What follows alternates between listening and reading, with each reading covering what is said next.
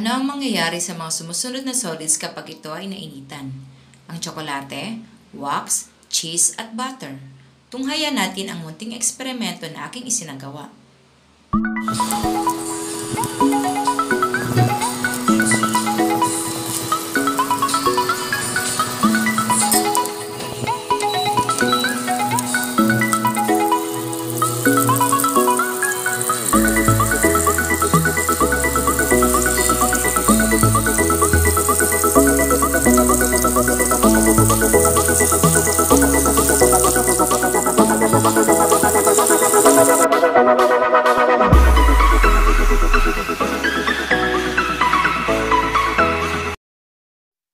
butter ay natutunaw kapag ito ay nainitan.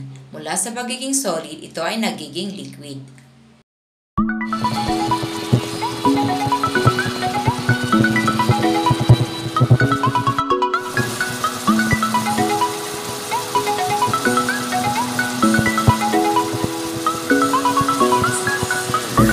Ang keso ay natutunaw at nagiging liquid kapag ito ay pinainitan.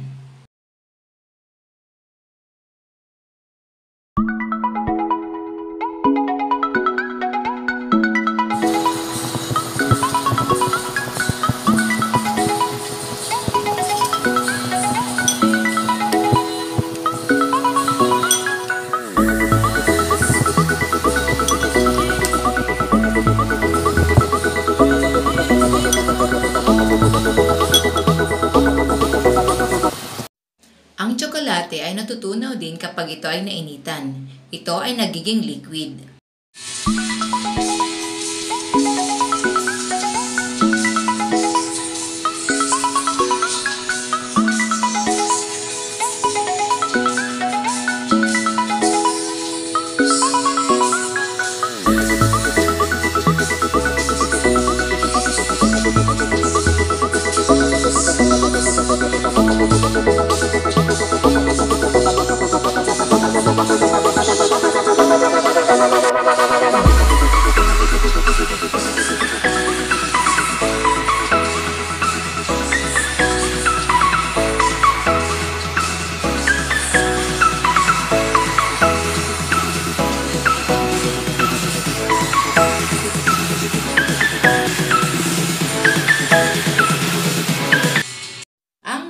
Ay nagbabago ng anyo kapag ito ay naapektuhan ng temperatura.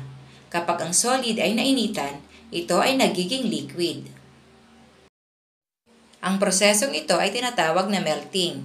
Ang melting ay pagbabagong anyo ng matter mula sa pagiging solid patungong liquid.